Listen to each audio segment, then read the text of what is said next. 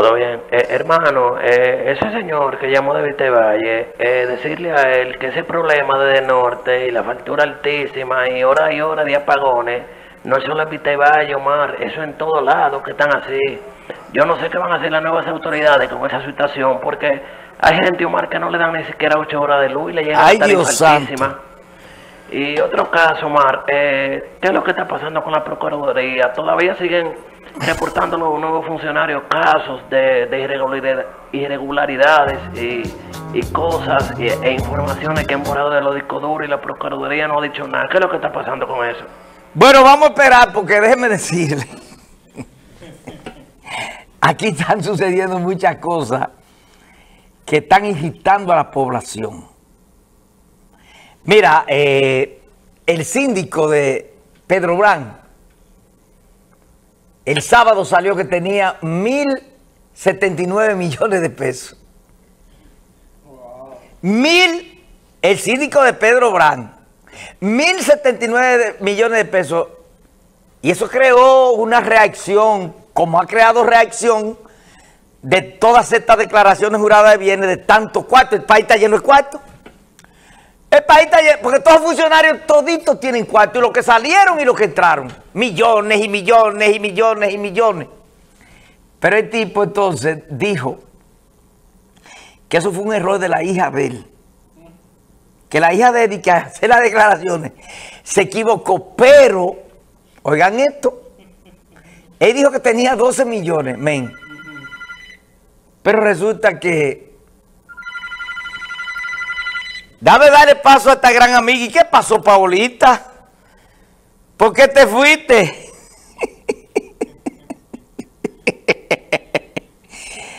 eh, Paola. eh, Ah, pero esta- este es el teléfono de Paola, porque aquí hay una... no, no, no creo. Yo soy leonelita. eh, eh, eh, eh, esta es la muerte. Y me dejaron cobrando en el PRM. Oye, un baboso es, Buscavida. eh, eh, sí, es Buscavida poniendo cosas. De que. Borró la foto. Cuando yo presenté la foto, la borró. Borró la foto. Y. Es Buscavida. eh, Y lo puso aquí que es Buscavida. Miren, Paola, ¿qué es lo que pasó? Llámame. Paola Estrella. Miren, entonces, déjenme decirle, pero el tipo, síndico de Pedro Brán, es vicepresidente de Fenatrado. Ahí, ahí, ahí. Oye, todo el que es del comité ejecutivo de es multimillonario. Ahí se detectó que el tipo tiene, que yo, cuántas flotillas de camiones, o sea, no puede tener 12 millones, como él dice. Y que tiene muchísimas cosas. Bueno, el caso es que eh, el gobierno, el gobierno tiene que dar muestra de cambio. Los primeros meses y los primeros días de un gobierno, todo se le celebra. A Hipólito Mejía le celebraban todos los chistes de mal gusto en los primeros días. Después los chistes de Hipólito aburrían y la gente los recibía mal. Eso fue al principio. Señora del gobierno, le voy a decir lo siguiente. Esos apagones y esa luz, mira, ahí, ahí me mandaron un recibo que la persona pagaba entre 2.000 y 2.500 pesos mensuales. Y este mes le llegó 10. Esto es un abuso. Es un abuso. Tú triplicarle a un usuario eh, la factura de luz, sabiendo uno que eso es un truco. Pero oye otra burla. Ega bajó 20 cheles. Oye, pero Hito Biso no se cansó de decir que había una mafia en la vaina de los combustibles. Y ahora está eh, hablando que no, que eso hay que dejarlo así. No, usted tiene que mostrar cambio. Yo dije, hay muchas cosas. Y miren, señores, yo dije eso aquí.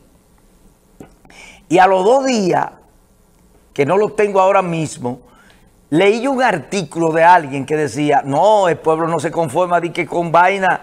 Que yo decía, sí, eso está muy bien, que Luis Abinader ande sin corbata. Eso está muy bien que Luis Abinader visite una gente, pero eso no resuelve el problema del estómago de la gente y de empleo. La gente lo que quiere es solución a su problema. Jorge Blanco se paraba en los semáforos y Leonel iba a la heladería Bon a comer helado. San Lobatón ayer, muy bien eso.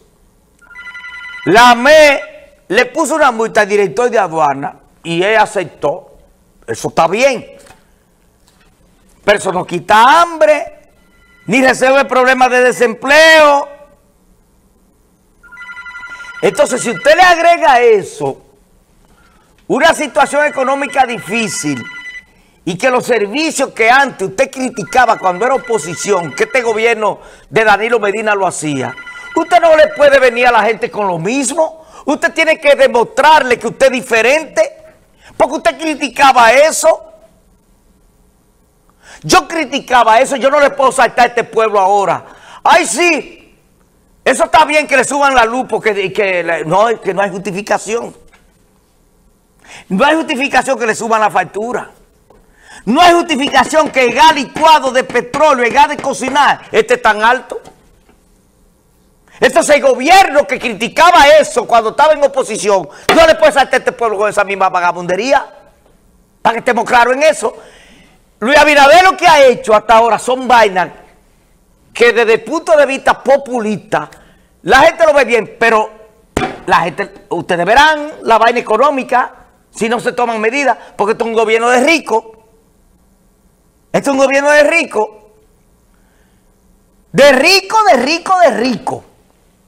Pero bien, yo tengo que felicitar, y por poco no vengo al programa hoy, ven a mi amiga Mercedes Pichardo y a su hijo José Antonio Pichardo, que está de cumpleaños y ellos estaban celebrando y me invitaron encarecidamente, que yo, miren, un lunes y un día de trabajo, muy difícil que yo asista a ese tipo de actividades y por ello tuve que asistir y casi pongo en peligro mi... Porque quiero mucho a mis amigos televidentes estoy aquí, porque lo quiero mucho. Y porque esto es un compromiso que yo tengo que estar aquí. Que esa morena pensaba que yo no iba a tener frío. Esa morena pensaba que yo... Pero sí tengo que decirte porque tú... Tenemos una llamada. Buenas tardes. Mes se ríe de esto. Me, pero de lo que usted se va a reír en grande eh, buenas tardes, más, pero ellos decían que eso lo iban a arreglar y estamos peor. Eh, bueno, entonces, aquí está, esta gente son seguidores de este programa, dicen buenas tardes, más contigo siempre. Gracias, mi querido hermano.